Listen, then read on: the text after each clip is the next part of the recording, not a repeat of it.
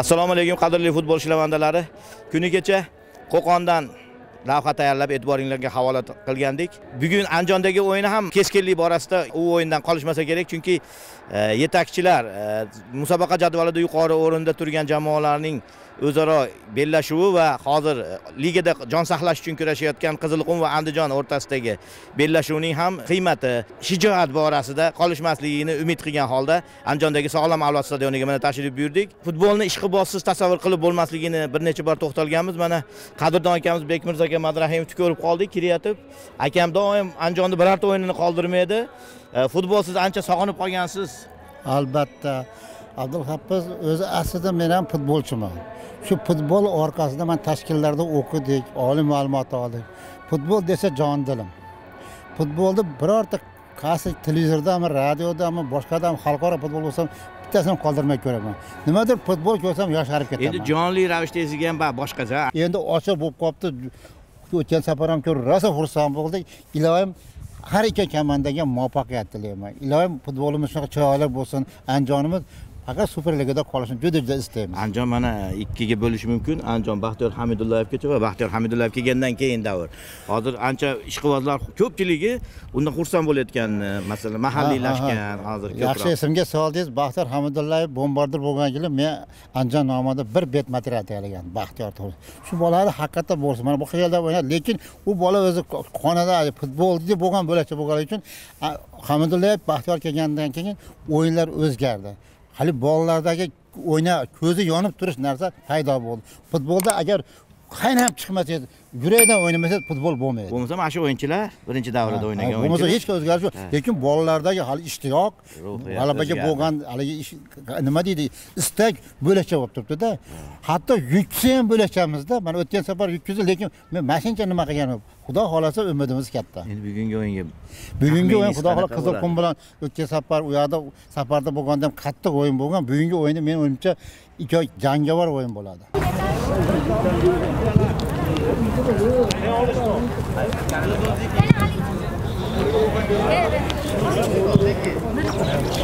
qizilqum jamoasi bosh murabbiyi hamid aktamov bilan mana ko'rishib turibmiz. Mana hozirgi kunda qizilqum ikkinchi davrani yaxshi o'tkazayotgan bo'lsa-da baribir hali xavfli zonani tark etgani yo'q. Bugungi o'yinda qiymati ham ancha baland. Qizilqum bunga bir alohida tayyorgarlik ko'rdimi yoki oz muddatda tashkil qilgani uchun yo alohida birorta jamoaga tayyorgarlik ko'rish qiynalash qiyin bo'lyaptimi? Avvalambor assalomu alaykum. Gapingiz to'g'ri. Bugun olti ochkolik o'yin bo'ladi. Xudo xohlasa bundan biz g'alaba uchun kelganmiz. G'alaba qozonamiz degan umiddaman. Hamma tayyor hamma tayyor. Kasal yo'q hamma sog'lom. O'zi o'ynaganimizda ham yaqinda o'ynadik. Undan keyin alohida hech qachon komandaga tayyorlanmaymiz hammaga bir xil tayyorlanamiz. Endi mana yangi bosh murabbiy baribir o'yin uslubi o'zgarganu baxtiyor hamidullayev birinchi davrada boshqa edi murabbiy.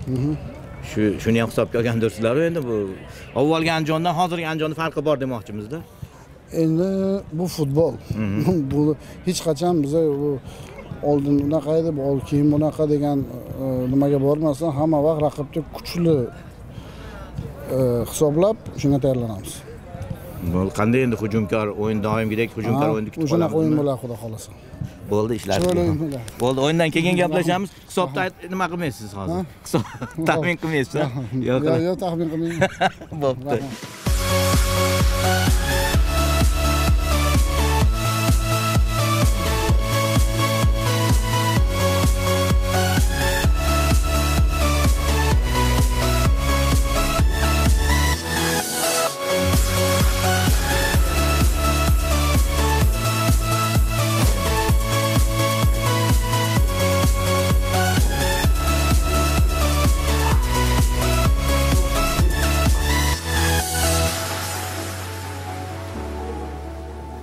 andijon qizilqum uchrashuvi boshlanishiga sanoqli daqiqalar qolyapti. Mana jamoa o'yinchilari saflanib maydonga tushishga tayyorgarlik ko'rishyapti.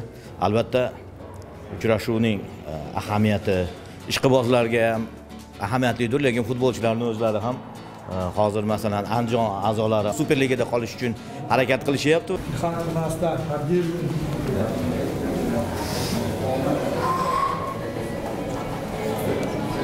O't, o't, o't, o't, o't. O'tasan. Bo'yda.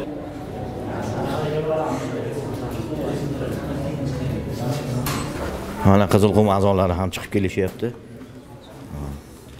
bularda ham albatta kayfiyatlar yuqori bo'lsa kerak har barcha jamoalar singari bular ham uch ochkoni ko'zlab maydonga tushishadi har biri o'ziga yarasha bir motivatsiya bilan maydonga tushyapti mana sherali jo'rayev birinchi qatorda turibdi o'ylaymizki bugun muxlislarni o'ziga tortadigan ajoyib bir futbol spektaklini tomosha qilamiz.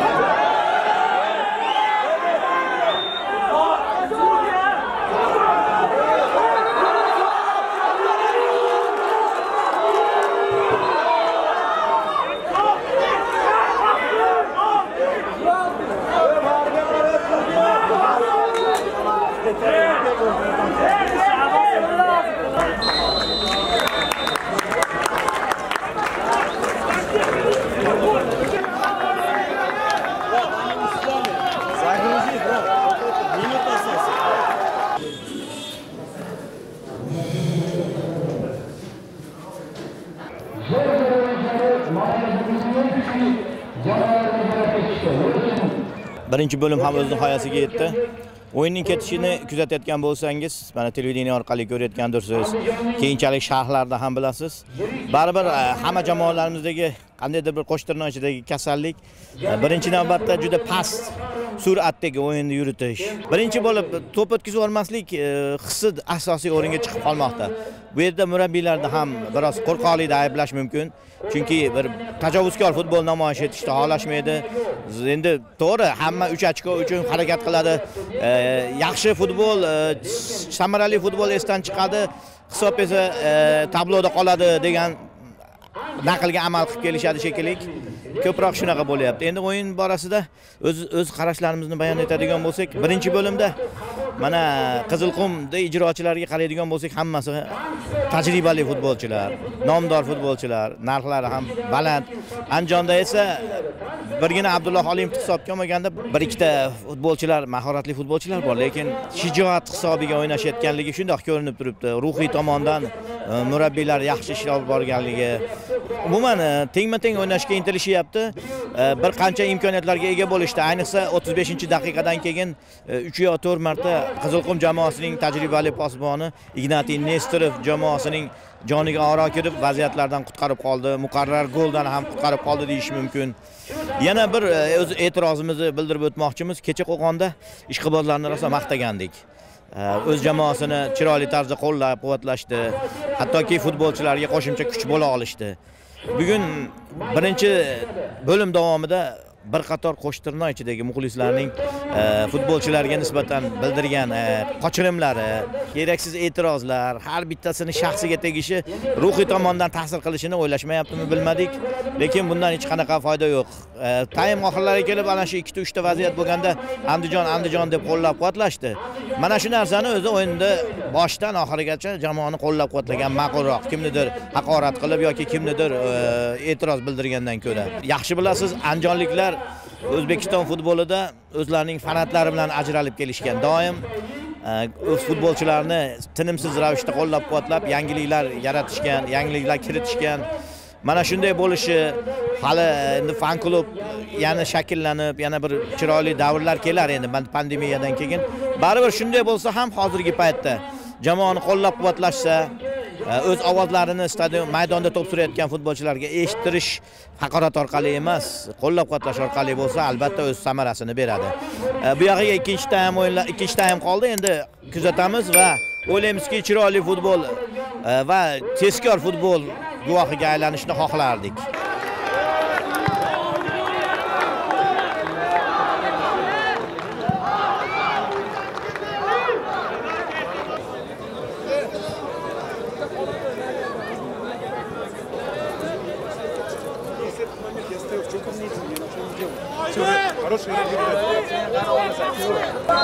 O'yinning ikkinchi bo'limida start berildi. Jamoalar tarkibidan yana bir bor tashkil etamiz. Mehmonlar Usmonov ikkalasi ham Toshkent shahridan.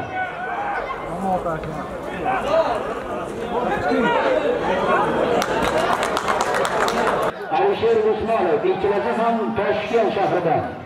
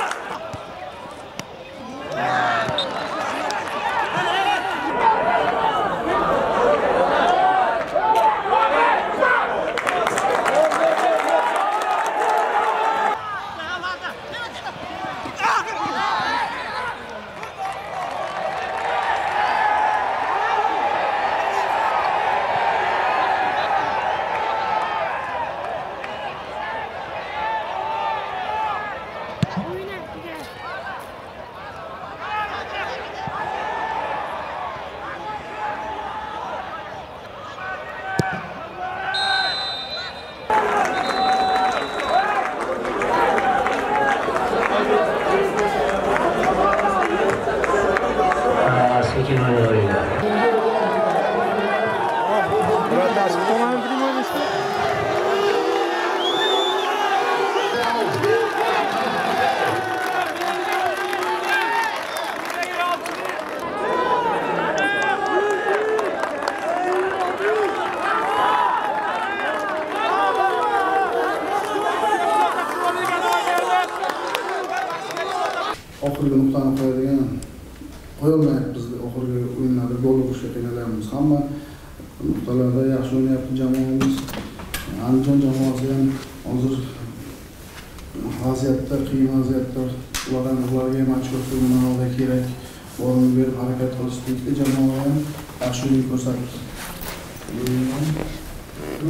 futbolchini futbol Andijon aka mana birinchi davrda jamoa ancha og'ir ahvolda edi. Keyin tarkib o'zgarish bo'ldi ikkinchi davrda yaxshi ketdi hozir bugungi bir ochko o'n to'qqiz ochko ancha muncha уже uchtalik klubdan o'tib ketdi surxon buxoroni balki bu sizlarni biroz xotirjamlik berishiga sabab bo'lib yo'q bo'lmaydi yo'q hech qanaqa xotirjamlikka yo'q hali oldinda e, beshta o'yin bor maksimal harakat qilamiz. Ulardan g'alaba qozonishga Bo'ladida endi baribir juda ko'p shoshilyapmiz gol urishga baribir goldan bo'lmayapmiz bu yerda kamchiligimiz man shu o'yinni qarab o'ylayman keyingi o'yinlarda yaxshi bo'ladi Andijon aka nima deb o'ylaysiz? Bugun keyingi yoshda bir ochko qo'lga? Ikkitasi yo'qotdi.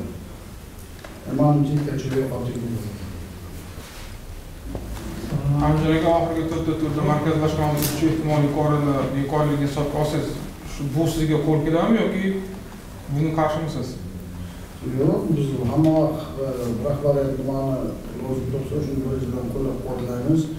E, markazlashgan bo'lishi ham bu ham qayerda bo'lsa ham o'zbekistonda o'ynaymiz. U man hech qanaqa nimani ko'pchilik e, taklif kiritgan bo'lsa man ham shular tarafdorman. E, markazlashgan bo'lsa markazlashgan E, uy va e, nimada mehmonda o'yin bo'lsa unga ham qarshiligim yo'q Andijon aka qachon yigirmadir Qizilqum jamoasiga o'yiniga borgan? Oxirgi marta. Qadr bo'laman, man kecha borolmadim. Kecha bu komandani trenirovkasi bo'ldi.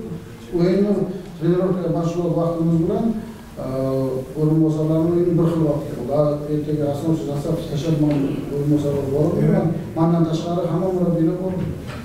Demak boradi qabul. Andijon Aktamovni muxlislar orasida ko'pchilik futbol menejer sifatida nom qozongan Samir Babayga ko'pincha qiyoslashadi. Bunga munosabatingiz qanaqa aka? Endi Samir Babay man man man Samir Babayga qiyoslamayman. Mani unga gapimni o'zim ishimni qilyapman. Salamni o'zim to'g'ridan bo'laman. Man birovga tahlil qilmay ishlayman. yirik mag'lubiyatimizdan hali ham bolalarni ruhiy holati o'sha o'yindan keyin hali ham ta'siri bugungi o'yinda ham juda katta ta'sir qilib bilinib turdi. Deyarli imkoniyatga ham ega bo'lmadik bugun. Bolalar oldingi oxirgi emas undan oldingi o'yindagi o'yinlarini o'ynasha olmadi.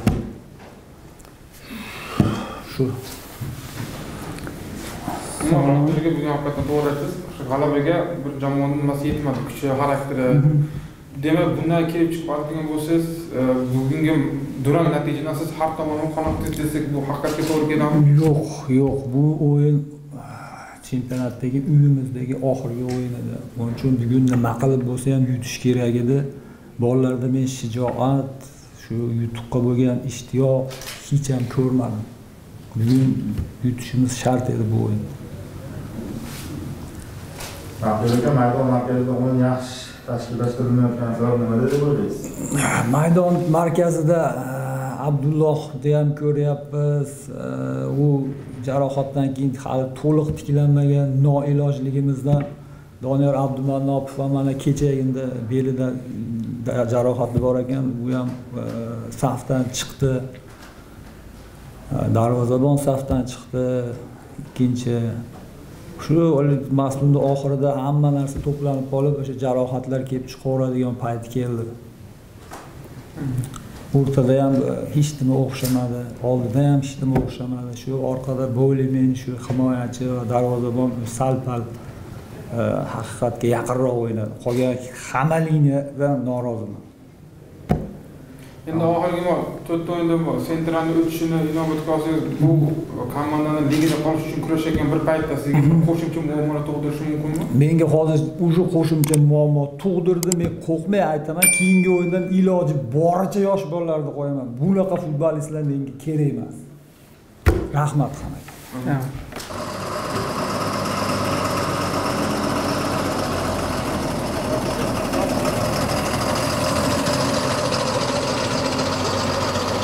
odatda 0-0 hisobi yakunini topganda nursiz durang deb qo'yishadi.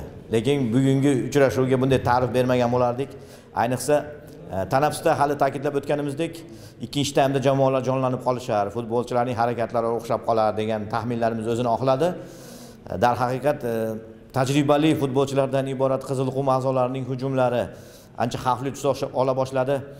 Andijonda esa ayniqsa ikkinchi taymning o'rtalariga kelganda yetakchilarni almashtirilishi endi e, biz ko'p o'yinlarda kuzatdik.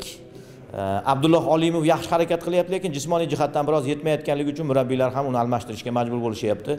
Shundan keyin e, mehmonlarning hujumlari ancha qizidi. Andijonliklar deyarli raqib jarima maydoni tomoniga o'tishlari ancha qiyinlashdi. Bunday mahalda qizilqumning xavfli hujumlarini andijonliklar posboni o'zini mahoratini ishga solgan holda bartaraf etib turdi eldor adhamov biz bu bolani e, uch marta kamida uch marta jamoasining joniga oro kirganligini ta'kidlashimiz kerak. Andijon e, bunyodkorga olti ikki yutqizgandan keyin e, o'yindan keyingi matbuot anjumanida bosh murabbiy baxtiyor hamidullayev jamoa bilan yana alohida gaplashib olishini e, himoya ruhiy tomondan biroz ko'tarish kerakligini aytganda darhaqiqat e, qisqa vaqt ichida bunchalik o'zgarish bo'lishini kutmagandik. Chunki odatda yirik hisobdagi mag'lubiyatdan keyin jamoa a'zolarining o'zlariga kelishlari qiyin. Murabbiylar demak o'z oldilariga qo'yilgan vazifani bajarishibdi. Futbolchilar yomon ko'rinishgani yo'q. Qizilqumning hozirgi tarkibi bilan andijonning bugungi tarkibini solishtiradigan bo'lsak albatta mehmonlarning e, hozirgi o'yinchilaridan iborat. Endi yarmidan ko'pi yulduzlardan iborat desak ham bo'ladi. Lekin andijon oxirigacha kurashadi. Chunki bilamiz bu yigitlar futbol E, o'yinini asosiy o'ringa qo'yishadi. Superligada qolish uchun e, bor kuchlarini ishga solishadi. E, Qizilqum haqida ham ijobiy fikrlar bildirgimiz keladi. Keyingi o'yinlarda ularga ham omad tilab qolamiz. Yana ishqibozlik madaniyati haqida bir to'xtalib o'tmasak bo'lmaydiganga o'xshaydi. Chunki bir necha bor mehmonlar bosh murabbiy tomon yana qolaversa o'yinchilarga birinchi bo'limda o'zimizni o'yinchilarimizga e'tiroz bildirganliklari borasida E, qandaydir ranjigandik e, bunday tarzdagi ishqibozlik yarashmasligini ta'kidlagandik. Endi biz andijoncha mehmondo'stlikni namoyish etib e, ho'p bir ajoyib tarzda bir kelgan jamoalarga nisbatan yaxshi tomonlarimizni ko'rsata olishimizni xohlardik. Andijonliklarni keyingi uchrashuvda ham qiyin bahs kutib turibdi. Termizda asosiy raqobatchilari bo'lib hisoblangan surxon bilan bahs boylashishadi. Albatta mana shu uchrashuvga ham juda ko'p narsa bog'liq. Qizilqum esa ancha ilgarilab ketgan va bugungi andijondagi bahsda avvalgilarga nisbatan biroz sustroq harakat qilishgan bo'lsa-da o'zlariga kelishib ochkolar zaxirasini yanada boyitib olishlariga ishonib qolamiz.